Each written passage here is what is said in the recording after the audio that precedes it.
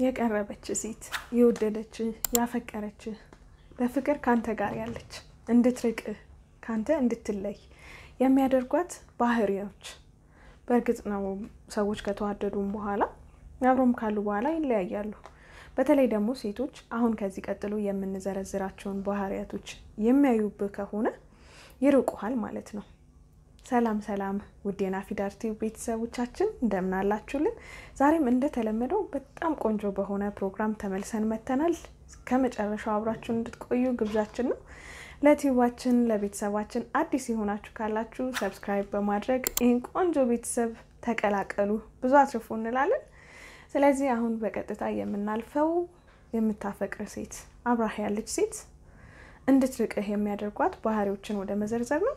መልካም ቆይታ።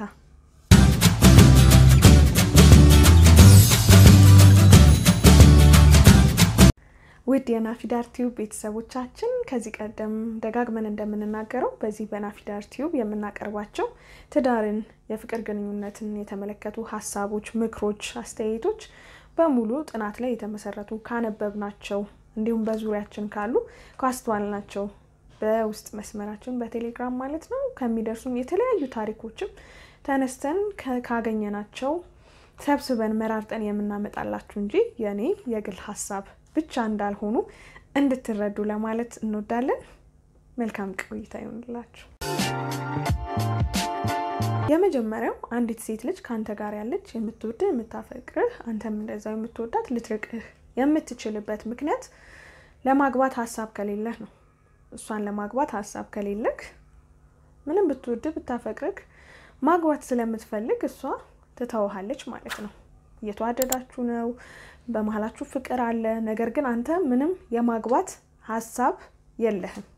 በዚህ ጊዜ አብራህ ያለች ሴት ልጅ ልትርቅህ እንደምትችል በደንብ ማሰብ ይኖርብሃል ማለት ነው። ስለዚህ ስለ ትዳር ማሰብ፣ ስለ ትዳር ማውራት፣ ስለ ትዳር ፕላን ማድረግ የግድ የግድ ያስፈልጋል ማለት ነው። አንድ ግንኙነት እያደር በየ step ኡ ማለት ነው፣ በአንድ ጊዜም ሳይሆን በየ step ኡ መሄድ ያለበትን step መሄድ ያለበትን ሂደቶች አልፎ ለትዳር መብቃት አለበት። ያ ነው አላማውም።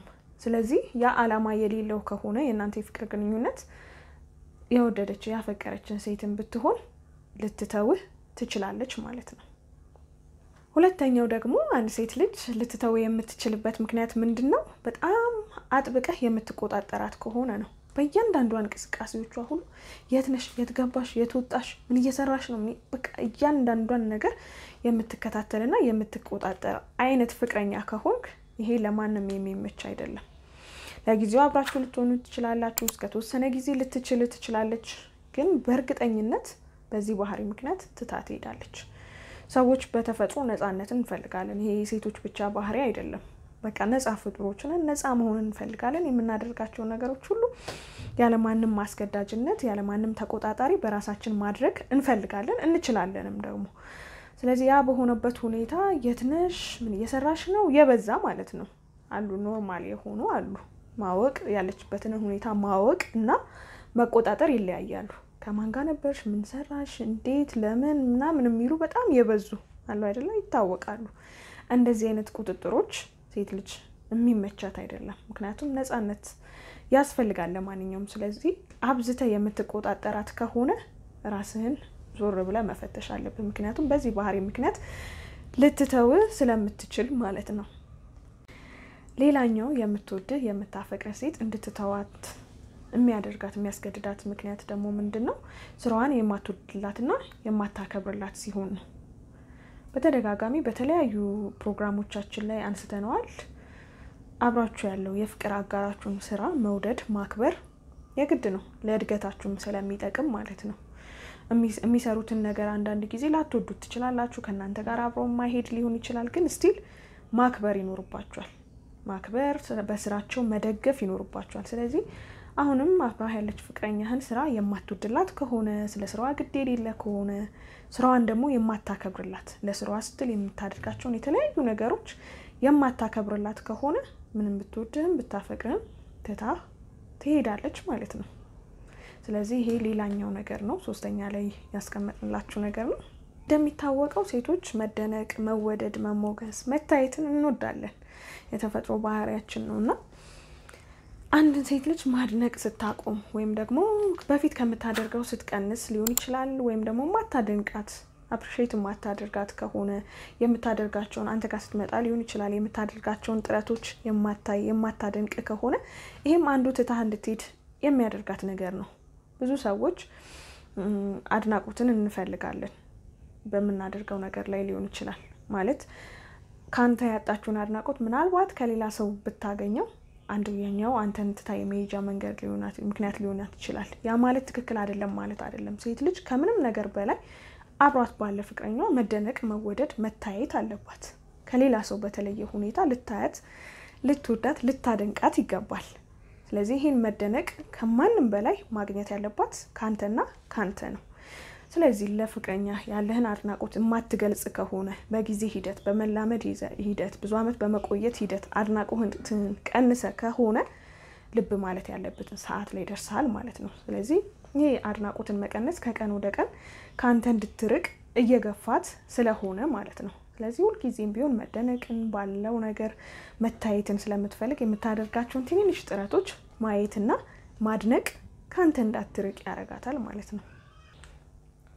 ይሄኛውን ነገር በተደጋጋሚ ገልጸነዋል። የፍቅር ግንኙነትን ሊያበላሽ የሚችሉ ነገሮች ብለን በተደጋጋሚ ብዙ ፕሮግራሞቻችን ላይ ገልጸነዋል። ምንድን ነው ስለ ቀድሞ ፍቅረኛ በተደጋጋሚ የምታወራ ከሆነ ማለት ነው የቀድሞ ፍቅረኛ ፍቅር ሊወጣልህ እሷንም ልትረሳት ይገባል። በመጀመሪያ አዲስ ግንኙነት ከመጀመር በፊት ይሄ የግድ ነው። ነገር ግን በማታውቀው አንተ በማታስበው ሁኔታ ስለ እሷ ደጋግመህ ልታወራ ትችላለህ። ይሄ ደግሞ አሁን ያለች ፍቅረኛህን ቅር የሚያሰኝና እንድትርቅህ እንድትሸሽህ የሚያደርግ ነገር ነው። ምክንያቱም ስለ እሷ እያወራህ ያለኸው ከእሷ ያጣኸው የጎደለህ ነገር ስላለ እንደሆነ ስለምታስብ አሁን ያለችው ፍቅረኛ ጥሩ ስሜት አይሰማትም ማለት ነው። ስለዚህ በተቻለ መጠን እንደዚህ እያደረግክ ከሆነ ራስን ልብ ብለህ አስተውለህ ስለ ቀድሞ ፍቅረኛ በተደጋጋሚ እያነሳህና እያወራህ ከሆነ ማስተዋል አለብህ። ምክንያቱም ይሄ የምታደርገው ነገር እንድትርቅህ ስለሚያደርጋት ማለት ነው።